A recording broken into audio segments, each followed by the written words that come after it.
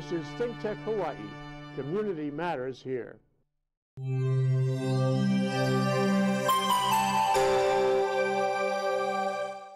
Um, okay, we're live. I'm Jay Fidell. It's uh, we do the Squeeze show at 3:30 here on, on Think Tech. Squeeze today. We have a special visitor, a special guest that we, we we kind of roped him into the show. This is a retired judge, chief judge of the Second Circuit of Hawaii, uh, Shackley Raffetto. Welcome back to the show. It's great to have you, Shackley. Thank you, Jay. Glad to be back.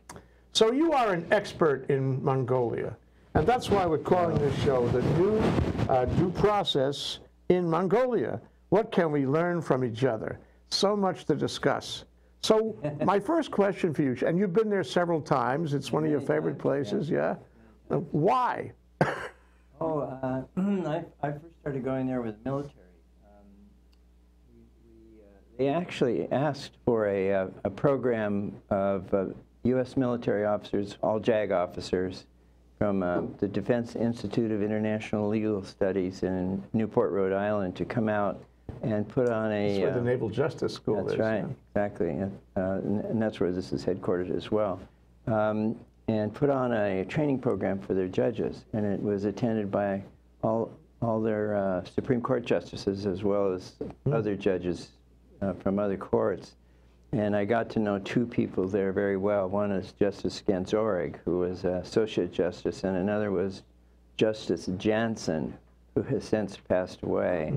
And I, this was years ago now, and uh, we stayed friends over the years. And and I went back several times with the military. One of the things that interesting that they, that they do is they send uh, troops out for peacekeep, peacekeeping missions uh, for the UN.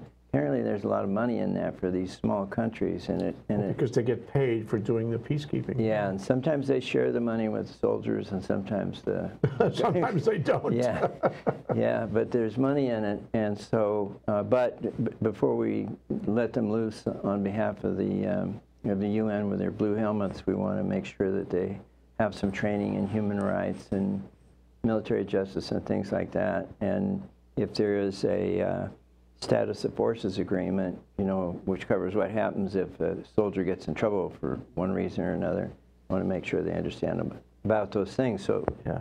I was returning doing those things, and then um, I just started going for fun because uh, Judge and I became good friends, and uh, It was social. yeah, and uh, and I, I we did a program a year a year or so ago when his Yeah. daughter got married. His Yeah. daughter worked in my chambers for a, for a, so uh, cool. a summer and stayed with me and wanted to become a lawyer very bad like her dad, and she did. She went back to New York, became a lawyer, and got married, and uh, I attended her wedding in Mongolia.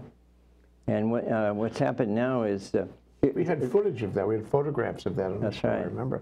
Well, the whole family, for a number of years, lived in uh, Washington, D.C., where the uh, justice was working on a PhD in constitutional law. So she grew up basically in America, and, and so did her brother. And um, so it was hard for her to go back. And uh, when, when the time came and she figured a way to continue her education, and then she ended up marrying a guy from New York. Perfect And story. now she's now she's working for one of our uh, lady um, um, associate uh, judges of our Intermediate Court of Appeals, and plans to stay in Hawaii, How make it her home. And so, Truth is, though, you know, I never met, aside from the people that you brought one time to our studio and we met them, judges and whatnot, Mm-hmm. Yes. uh, a couple of years ago, I never really met Mongolian people. I Uh-huh. just I've never, I haven't run into them. But- there are not a lot of them around. Yeah? there's there are more and more. Uh, there um, is the largest uh, population outside of Mongolia is in Washington D.C. Um, and uh, the, uh, there, there's a, I guess, a sizable group in San Francisco. In fact, I was having a hamburger and on Broadway one day, and, and I asked this woman because she looked Asian, and I and I asked her where she was from, and she says, "Oh, I'm from Mongolia." And I said, "Well, Sain Bano," which is hi, you know. And she, she just about I'm sure dropped her jaw down. dropped, yeah. Well, that, no, that's fabulous. I mean, I go through the same thing. I go to the mainland. I'm always looking for Asian faces. I always Uh, yeah. want to find out what's going on, why, what the story is. It's great. Who are you? Where are you from? And we, and we, ha- we can do that because we're from Hawaii. We have special license to do that because we're from Hawaii, right? I don't feel uncomfortable doing it now. Me that's too. for sure. Yeah, yeah. So anyway, uh, what uh, when uh, Justice Ganzorig returned to Mongolia, he he first he was the lawyer for the president of Mongolia, and then he moved from there to uh, today he is the deputy assistant um, prosecuting attorney for Mongolia. They have a statewide prosecutor's office, and so he's uh, one of the top management there. And they're putting on a um, an international law conference. I'm not sure how many people from other places there will be except me, but he invited me to come. They've adopted uh, a proceeding called a preliminary hearing, which we have here. Um, on criminal matters. Right, right. It's a way to provide due process, and it's a way to interface um, a third party between the power of the state and the individual who's being charged with a crime. The, pros- the prosecutor, I mean, you keep the, keep the prosecutor under control that way. That's yeah. right. And the traditional way was uh, the grand jury. That's in our U.S. Constitution. That's in our Hawaii Constitution. But many states also have, uh, also provide for a preliminary hearing um, as an alternative to that. Who makes the choice? Prosecutor, as far as I know. Yeah, it's yeah, it's not yeah. the court. Um, and and I'm not. I think it's uh, the preliminary hearings are used just in particular kinds of cases, and I'm not sure how the prosecutor makes those Then If you take a preliminary hearing, you- then effectively you can get, you can get past that level of inquiry to a, a- to a, what amounts to an indictment and thus a trial, yeah. Well, um, the, and with the grand jury, that's a, that is a private uh, a proceeding that, that occurs in the courthouse. There'll be maybe 16 to 23 members of the grand jury. They're they're selected separately from regular juries, and they meet maybe once a month or once every two months. Usually, there's one assigned to each courtroom, and uh, when the prosecutor has enough evidence that they want to present a case to the grand jury, they call the grand jury into session. It's, it's secret. The defendant is not there. Defendant most likely doesn't even know about it, and um, and it's all secret. Uh, so there's a Next thing he has a knock on his Well, door with somebody with an it- indictment. Yeah, it could be, and there's a whole joke, you know, that that uh, a good prosecutor could indict a ham sandwich. You know. Because it's one-sided. yeah, yeah, yeah. That's right. Uh, but uh, but this, but there still has to be evidence, and technically, um, we, we give a, jar, a, ch- a charge to the grand jury, instructing them what their powers are, and they There is a judge. You've done that with the grand jury. I mean, the- I, I don't sit in there. the I, grand jury doesn't sit without a judge, does it? yes, it, It does. Yeah. No judge is involved. Right. Well, the way we do it in Hawaii is um, we assign a, a grand jury counsel to the grand jury, so they have their lawyer. It's paid by the state, mm -hmm. and so if they have any questions about the law, then they can consult uh, the lawyer, and they can even have him sit there during the proceedings, so he cannot participate except to answer questions. Uh, and then uh, and, and, and then after the prosecutor calls whatever witnesses he wants to call or, or she and present whatever evidence they wish to present, then the jury, uh, the jury can ask for more evidence. It can say, we're not satisfied, you know, we want to hear, you know, other names may come up and they can request that those people be brought in. Side point, uh, you you know, my father was uh, on the jur- grand jury in, um, Oh. in New York for years. New York, oh. Yeah, he loved it. And, and uh, he prided himself on the grand juries that he sat on were, quote, runaway, end quote, grand juries, which meant that they would read the paper and decide that somebody should be indicted, and they would tell the prosecutor to bring evidence, and then they, Yeah. would, they would tell him what to do. So that was the definition of a runaway grand jury, where they were running, they were running the prosecutor, not the other way around. Has that ever happened in Hawaii? Not that I'm aware of, but but it but it could. I mean, they they have quite a bit of power. Um, so so the defendant never knows about it, and, and that's good because um, if if there was a grand jury proceeding brought against someone in the community and the and the grand jury failed to find probable cause to believe that a crime had been committed and that the defendant committed the crime, um, then, and, and if it got out that he'd been, been you know, his case been brought before the grand jury, then his reputation might be ruined for no good reason. Yeah.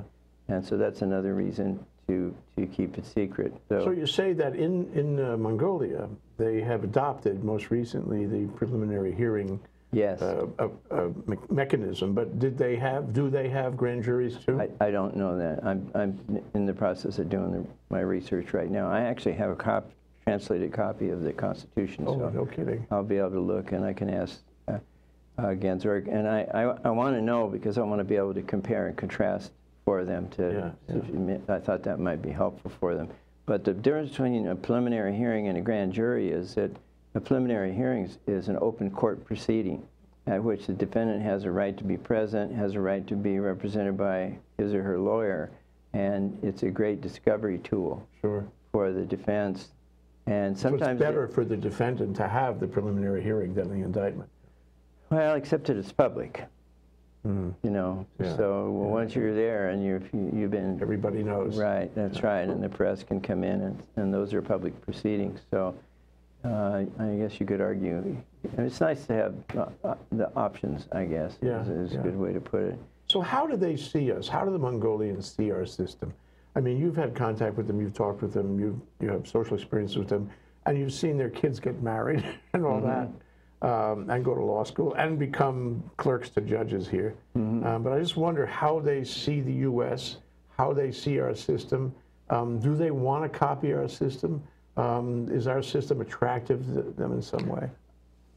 Um, I think it, it must have some attraction. I, I can tell you, for instance, Justice Ganzorig called me up about two years ago and asked me if I could arrange to have our prosecutor in Maui, J.D. Kim, uh, put on a training program for his prosecutors. And he brought a group of 12 prosecutors over, and uh, Prosecutor Kim was kind enough to um, uh, to uh, he had kind of a canned uh, uh, PowerPoint about the prosecutor's office and what their function was and what they did and how it worked, and he presented that, and they all found it very very interesting. And you know, they're they're so isolated. I mean, they're a completely landlocked country with Russia on one side and China on the other side, and and they're trying to remain independent. Uh, they were not part of the Soviet Union. They were a buffer state, but they were totally dominated by uh, the communist world, and and you know most of the monks were killed, and you know, a lot of terrible things happened. Like it, it goes on in a lot of those. What drives them now? Are they a democracy? Uh, what's what's Yeah. the form of government and all that? Yeah, it's a it's a basic democracy. Um, I I couldn't describe it in detail, but it's I think kind of a, a parliamentary democracy, and uh, they have elections and so on. Um, Is it an advanced country? I mean, is it is it a comfortable place for travel? Is it uh, is it a well, they warm have and a lot- friendly place? Uh, well, I think so. Uh, it's beautiful, very beautiful country, um, and um, uh, but there's not much there because it's grass, rolling grassland most of it. And then in the northwest, there are the Altai Mountains, which are these huge mountains between China and and Mongolia, across which the, the monks used to go to get to Tibet to do their, you know, on their on their right next to pilgrimage. Tibet. Tibet on one side, Russia Yeah. on the other side. Yeah. What else is contiguous? Well, China. China. Uh, yeah, I think maybe North Korea has a Wow. has a little, little chip there. They, the uh, North Koreans do go there and work, and um, uh, but th- their economy is, I, I would say, sluggish because they don't make anything. It's most of their produce uh, for the country is is agricultural. It's it's sheep and cattle and and and it's bitter cold in the winter for most of the months, so they can't really grow anything. And uh, there is some tourism. There are apparently great, uh, number one, huge natural resources: copper, gold. They have a gold rush there periodically, and uh, and it's like the Wild West. And uh, uh, they, they also uh, have uh, make uh, interesting finds of dinosaur bones and dinosaur eggs and things like that. Great history. Yeah, it was a very, uh, in, very unique and interesting place. Now, since they were dominated by the Soviets, their culture isn't like China or Japan. You don't go there and get to feel like you're in an Asian Oh, yeah. country. Asian country. It's, you, you it feels much more like you're in uh, um, Arme- Armenia or Russia or someplace like that. I want to uh, I want to explore more of that about life on the ground, life in the courts, life with the judges uh, after this break. But before we take the break, I, I just want to ask uh, Alexa, what's the population of Mongolia? Oh, it's like about three million, I think. population of Mongolia is about 3 million 80,000. And on that note, Any we're going to take a short break. This is Think Tech Hawaii, raising public awareness. Hi, I'm Pete Mouginis-Mark, and every Monday at 1 o'clock, I present Think Tech Hawaii's Research in Manoa, where we bring together researchers from across the campus to describe a whole series of scientifically interesting topics of interest both to Hawaii and around the world. So hopefully you can join me 1 o'clock Monday afternoon for ThinkTech Hawaii's Research in Manoa. Aloha. My name is Mark Shklav. I am the host of ThinkTech Hawaii's Law Across the Sea. Law Across the Sea comes on every other Monday at 11 a.m. Please join us. I like to bring in guests that talk about all types of things that come across the sea to Hawaii. Not just law, love, people, ideas, history, Please join us for Law Across the Sea. Aloha.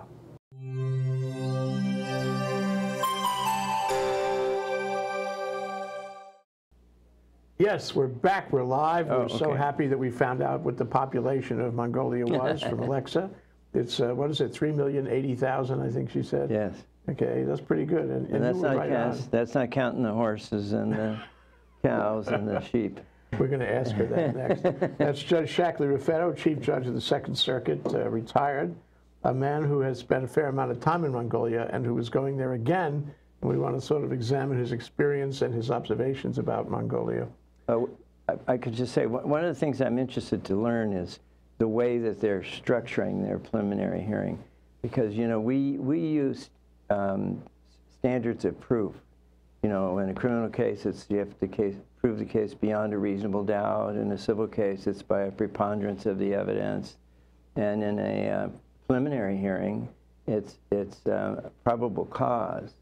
All you have to do is provide sufficient evidence so that the decider, whether it's the grand jury or the judge in a preliminary hearing, can make a decision that there's sufficient evidence to say that um, uh, a crime was committed. Uh, it's, it's likely that a crime Like, was likely committed. is the operative word. Yeah, likely. it's it's it's much lo- lower than than the other standards, but there there's there's no way to to mathematically quantify these things. That's why we say beyond a reasonable doubt, and we say um, uh, a preponderance of the evidence. I- I always uh, understand a preponderance to mean probably negligent. Yeah, I think that's a good way to put it. Pro- people- probably pe- people more can understand. probably than less probably. Well, that, that gets That gets- that gets too you- tough. You get tongue tied, yeah. more, more probably so than not so. So, do they the deal jury's in this looking at level you of like, what? sophistication? They, this is very sophisticated stuff. Our system, you know, in any state is very sophisticated. Where are they relative to the American way of looking at things? Well, I think, you know, that most of the population, I think, still lives in the countryside, but they're rapidly moving into the main city, which is Ulaanbaatar, which is uh, way overtaxed in terms of its infrastructure. Uh, they live in what they call ger, ger camps. G-E-R is the, um, is the Mongolian word for what we what the Russians call a yurt, Yeah. a felt tent Yeah. home that they that they can just pick up and move Yeah. uh, as part of their nomadic life. And so these camps are really exploding, and and they have health problems there and so on. And but uh, which gets back to you know what do, what do they do there? What what can they look forward to? They have these extractive industries. Copper is a is a really big industry. These huge copper mines, but uh, I guess Australia is kind of the same. They have a lot of mining, and they and they they sell a lot of their their uh, ores to China, and I'm sure that that's what happens to a lot of what's mined in uh, um, in Mongolia. But beyond that, I don't know. What about uh, what about their the punishments there? I mean, so so I, somebody finds probable cause on me. I go to trial. I get convicted. Am I going to go to jail for life? Am I going to, or am I going to have a very mm, civilized and uh, um, less draconian result? Well, you'll have a trial, but Yeah. uh, but I, I I don't know. I've never seen one, so I Oh, can't. that'd be so interesting to see one. Huh? yes, Uh, you're going to get exposed to that on this trip. When are you going? maybe um, next month, about the 12th or so. I haven't got my reservations yet, but I'll, I'll be there a week. So it's it's it's for a, a conference, a panel, uh, a briefing, if you will. It's a it's a law conference, Yeah. and they asked me to come and just kind of talk about what we've been talking about, Mm-hmm. and uh, hopefully I'll learn more about what their their law actually says. But I want to know how they're going to, how much evidence is enough. You know, that's a, always an interesting question because Yeah. many countries don't use these concepts of of standard of proof, and uh, and when you start talking to them, they get confused. They don't have a standard. You know, Yeah. They can't articulate it. Are they, are they um, uh, as a country, as a people, are they literate? Uh, do they read? Uh, are they uh, a nation of laws, uh, the rule of law, as we see it? As far as I can see, yes. Oh, that is Yeah, something. they're, they're, um, one concern they do have, though, is because they don't have a, a, a sophisticated infrastructure of, of laws, they've only been a, a free country for, uh, you know, not very many years, that uh, they may be victimized by um, organizations that are, are, are, will use the resources there for money laundering. And they, I know that the World Bank, is it the World Bank? No, the um, uh, Asia Development Bank Yeah. has recently put on a, uh, multi-part program to try to uh, train bankers and prosecutors and, and other uh, members of the government there in uh, how to identify money laundering, what to do about it, why it harm, it's harmful to the country, and so on. And a friend of mine is, was participating in that. That's great. But, you know, it opens the whole door to something beyond probable cause and beyond criminal justice to call it business justice. Um, you know, business disputes. Uh, and for example, if I happen to be an investor and I want to invest in, uh, call it an extraction business or a manufacturing business or who knows what kind of business, um, what kind of uh, rule of law am I going to find? What kind of mm, legal legal experience am I going to have? Uh, arbitration, mediation, litigation. How does that work? Uh, I, I, I, can't, I don't know the answer to that question. I think you would want to be very careful, though. Yeah. I mean, it's a, it's a young country, and it does not have a long, doesn't have a 230-year tradition of operating under our Constitution with an elaborate, you know, set of commercial laws and so on like we have. They just don't have that. And um, um, I've, n- I've never heard anybody say that the, that the, the courts are crooked. I've heard them, I've heard that said about other countries that I've been to. Yeah.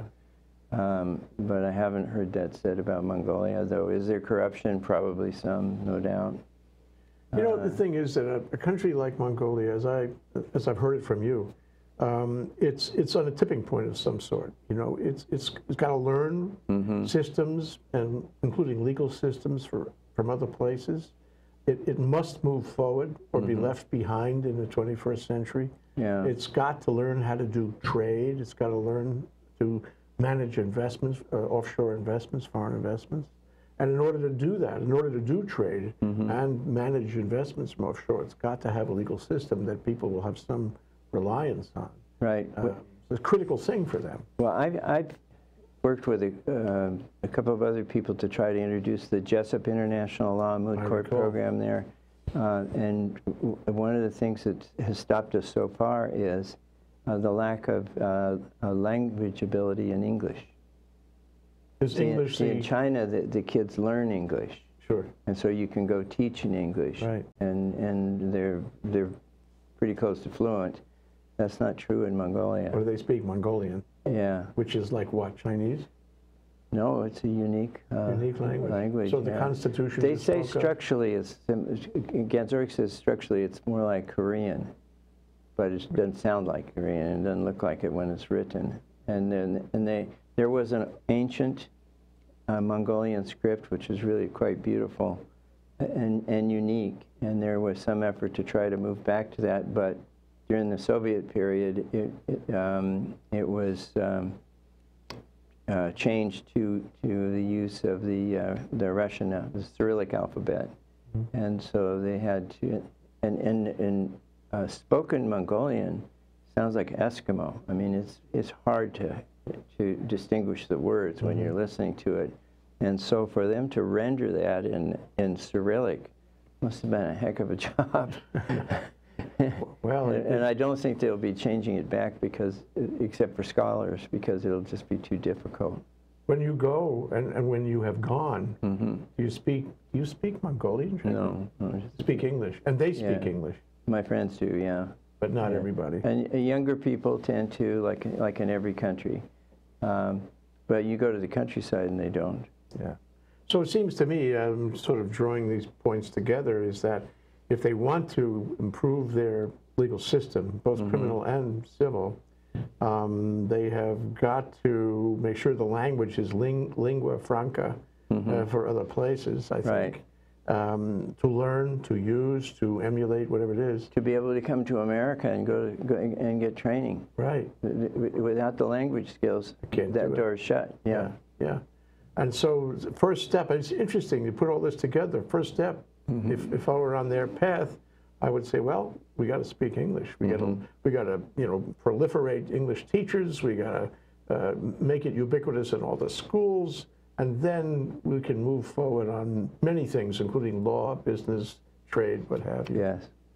So, there's, there's, we're, we're, we've, we've talked to, Ganzorig and I have talked about, um, they, they are interested in starting a paralegal school. And with that, uh, introducing legal English as a, as a place to start, which is, a, I think, a pretty good idea. that's a great idea. Yeah. Well, when you when you come back from the trip, uh, can we circle back and Sure. uh, see what see what happened and see what you learned and how the experience Absolutely, was? absolutely. I'll, I'll know more, I'll know more about what they're doing, and you know, I can explain a little bit. I hope. And uh, we're also going to go fishing.